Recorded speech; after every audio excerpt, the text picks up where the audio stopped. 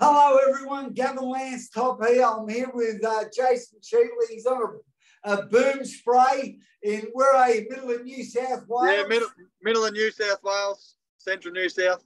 Out there changing the countryside.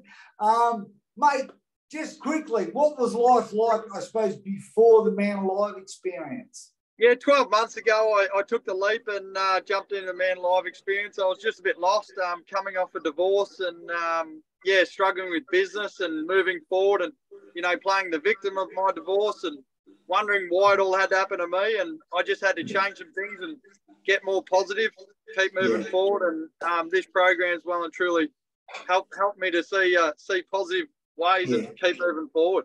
And I suppose just for maybe people watching for the first time, just met me or you know, the Man Alive experience, it's about, you know, I believe inside every man's a purpose a mission. Um, so it's about finding your purpose and then actioning it, actually going after it. And I suppose, mate, what's been the best thing that's that's come out of this experience for you? My biggest experience is um, finding what what makes me happy, what fills my cup. Um, yeah. It's more than just making money and running a business. Yeah. You know, I always used to say I wanted people to think that I was a hard worker. Now I want them to see me as a good business person.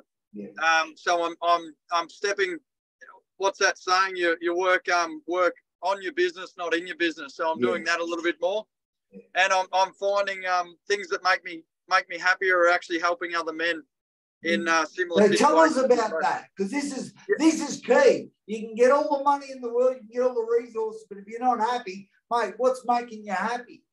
No, hundred percent. Like the, the business and the money, it's all good and fine, but you got to find what makes you happy. And I've, I've well and truly what what um, makes me happy is helping other divorced men or separated men through what what would be the you know sometimes the worst time of your life. So making them realise that they're not the only ones going through it, and there's plenty of help out there, and a and a way forward to keep moving forward and stay positive. Yeah, and what's been great, I suppose, about watching your journey, mate, is because obviously the real you comes out. You know, you can only pretend to be someone for so long. And the real you is really, it's actually the evidence is you are helping so many other men, which is so inspiring, particularly for me, but I mean the other men in the group as well. And and what's been, I mean, for people just watching, something that I always say, generally in, in a masculine journey, those biggest pains and biggest hurts will motivate something in you to come out. And of course, others will benefit. And we're seeing that with you, mate. What's that been like? Because I know you're having lots of phone calls with blokes and, and whatever. How's that going? Yeah, it's going good. Like you got to learn from your life experiences. The, the things that are your worst time of your life can can turn out to be a really good life experience for you, and you learn. And and you realise that everything happens for a reason. So yeah. everything's happened for me to learn learn from your life mistakes and then help out other men that are going through a similar thing. And like yeah. I said, when you talk to more men, they all go, wow, that's so much like the situation I'm in, or everyone's a little bit different, but you know what? The story is very similar. Yeah. They just they're just a bit lost and wondering why it happened or how it happened or how they can fix it going into the future. Yeah. So um, yeah, once you have a chat with a few men and and just keep them positive, keep them moving forward, they they can see that you know, I my paradigm was I was playing the victim of my divorce, and I flicked the switch yeah. and said the best thing that ever happened to me was getting divorced. So I could move, forward, move forward and start start a new start a new direction of where I'm going in life. Yeah, and I know, mate, from from you know what I've seen, obviously heard, mate, you're a great father. How how are your kids going through this process now? Oh, you know, a few years after the, the divorce yeah, the kids thing is very challenging right now. I'm going through a pretty tough stage with them, um, yeah. trying to get more custody of them.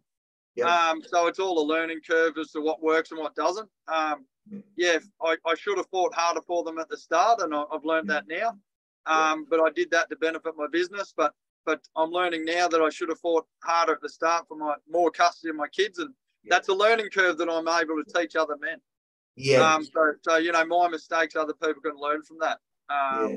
But it all depends, you know, the age of the kids and and where you're at from a personal point of view and location and all this sort of stuff. It all changes. Everyone's different. But um, I, have had a really good life experience the last six months, and um, all I can do is my vision now is to create an environment that my children want to be around me. So that's yeah. the vision I'm going with.